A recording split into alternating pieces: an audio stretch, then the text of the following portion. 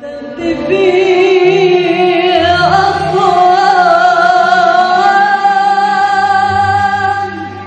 بعد حضورها المتميز في برنامج The Voice شاركت المطربة مروة ناجي في أول حفل في دار الأوبرا المصرية تم التبرع بريعه إلى صندوق لتحيا مصر. الحفل هو واحد من حفلات أم كلثوم التي دأبت دار الأوبرا على تنظيمه بشكل دوري لتقديم أشهر أغاني كوكب الشرق بأصوات مطربي الموسيقى العربية.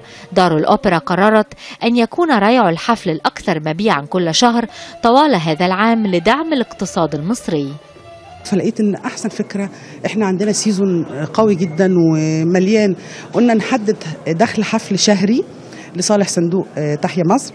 وبالفعل قلنا لازم نبتدي بكوكب الشرق رجوعا لتاريخ أم كلثوم واللي عملته أم كلثوم. فخدنا نفس الخطوة للبداية. أنا سعيدة جدا جدا جدا وفخورة جدا إن الحفلة بتاعتي بتكون لصالح صندوق تحيا مصر وسعيدة جدا جدا وشرف كبير ليا. ويعني ويا رب كل مصري يقدر يعمل أي حاجة يقدر عليها لصندوق ودعم مصر وتحيا مصر.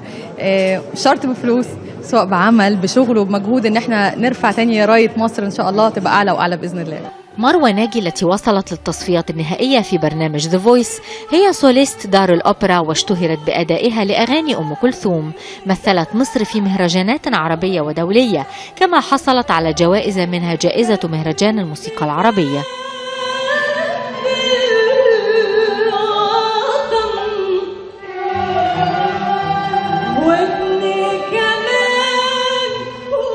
من أهم التجربات اللي مرت بيا في حياتي وغيرت في حياة مروة واختلفت.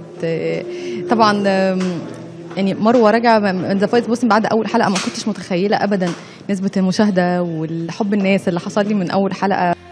أغاني الحفل الذي شاركت فيه مجموعة من مطربات الموسيقى العربية شملت أغاني وطنية منها على باب مصر وحق بلادك بالإضافة إلى أشهر أغاني كوكب الشرق مثل هجرتك وبرضاك يا خالقي.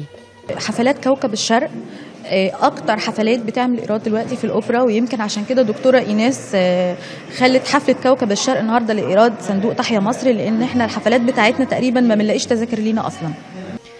موسم الأوبرا الفني بدأ هذه الأيام ويتضمن برنامجا حافلا من الحفلات المتنوعة كما سيشهد مشاركة فرق دولية غنائية وراقصة.